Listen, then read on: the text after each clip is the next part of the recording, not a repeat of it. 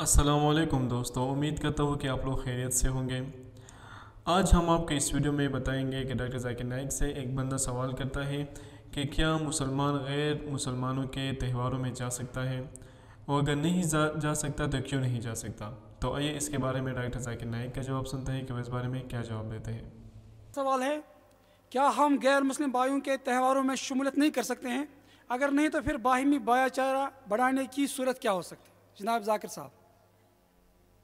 सवाल भाई साहब का है कि हम गैर मुसलमानों के त्यौहार में हिस्सा ले सकते हैं क्या नहीं?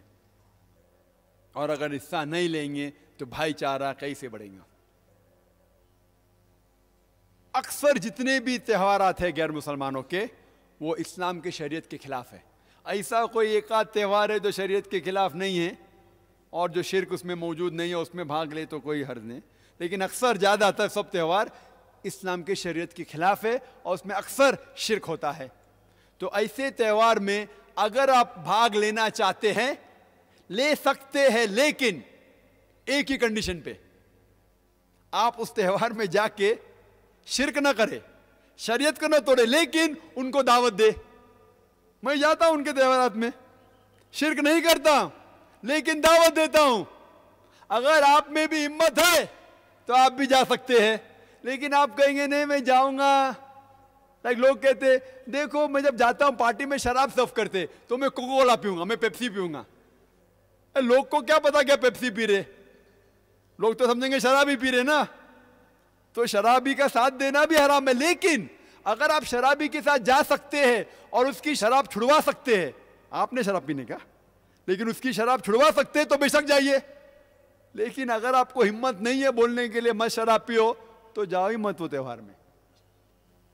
मैं जाता हूँ बॉम्बे में, जितने कॉन्सुलेट्स हैं ना फॉरेन इनके प्रोग्राम होते नेशनल डे तो अक्सर इन लोग, अक्सर शराब सर्व करते पहले पहले मुझे पता नहीं था तो जब मैं जाता था, मैं कौंसिल जनरल से डायरेक्ट कहता हूँ, मुझे माफ़ करना, मैं माजरत चाहता हूँ। बोला, क्यों? क्योंकि आप जो शराब दे रहे वो मैं मज़हब में अलाउड नहीं खुल्लम डायरेक्ट दावा देता हूँ, ये शराब हराम है। और हमारे मज़हब में तो हराम है ही। उसके अलावा मैं आपको सैकड़ों वजह दिखा सकता हूँ, क्यों हराम है? और फिर मैं मेडिकल डॉक्टर होने के लिहाज से हाँ doctor you very good very nice अच्छा कर रहे डरते क्या? मिनिस्टर भी होन दो। डरने का नहीं? अल्लाह ताला आपके साथ है। जब मैं शुरू किया था, जब मैं मेडिकल कॉलेज में था, बम्बई में, नायर हॉस्पिटल में, और जब मैं वेद या भगवत गीता के श्लोक की तिलावत करता था तो मेरे चंद मुसलमान दोस्त थे मेडिकल कॉलेज में, कितने चंद थे। वो भाग जाते थे क्या जाकिर अभी मरवाएँगे हमें। और मेरे इर्द गिर्द सब हिंदू लोग, पर अलहमदुल्ला जब अल्लाह से आते तो किसने डरना? और वही लोग आज मेरी इज़्ज़त करते, और इज़्ज़त करते। हमें गलत फहमी है कि हम दावत देंगे तो दोस्ती टूट जाएँगी। दावत दो, लेकिन हिकमत के साथ दो। मेरे बहुत से गैर मुसलमान दोस्त थे, अल्हम्दुलिल्लाह।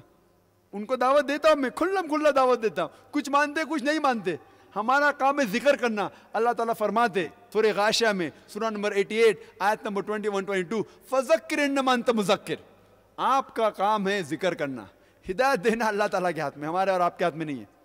तो ज़िक्र करना जो त्यौहार में, त्यौहार एक बहुत अच्छा मौका है दावत करने का।